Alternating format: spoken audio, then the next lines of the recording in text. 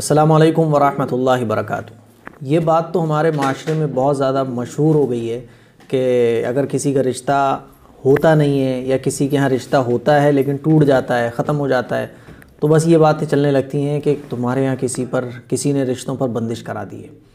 इसी तरह से रिलेटिव वाले बोलते हैं, किसी ने बंदिश करा दी होगी ज़रूर, तुम्हारी बेटी के रिश्ते नहीं हो रहे, तुम्हारे बेटों के रिश्ते नहीं हो रहे, रिश्ते हो रहे हैं तो टूट रहे हैं। तो इसकी हकीकत क्या है? आप अच्छे तरीके से इस मसले को समझ लें।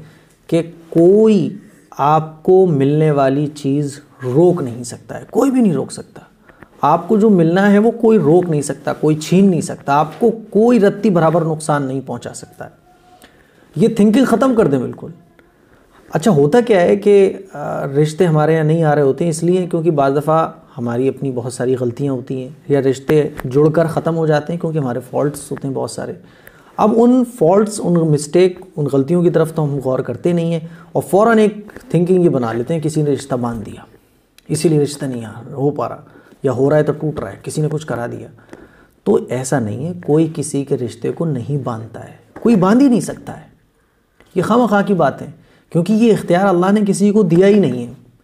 तो ये बिल्कुल इस तरह की जो थिंकिंग अपने माइंड से बिल्कुल निकाल दें, अल्लाह से दुआ करें और जो गलतियाँ, खामियाँ हो जाती हैं, उससे सबक लें और ख़ूब माइंड लगाकर अच्छे तरीके से डील करें और रिश्तों को जोड़ें। इन कोई दिक्कत नहीं आएगी। और मेन चीज़ ये कि अल्लाह से मांगें।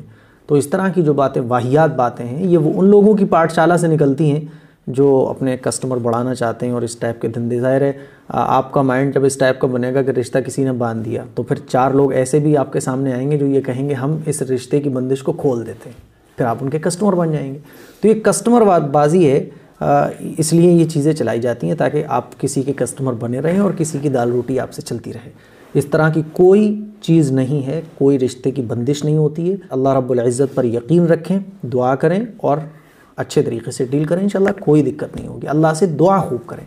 इस तरह की कोई बात नहीं होती है। अल्लाम वरहमल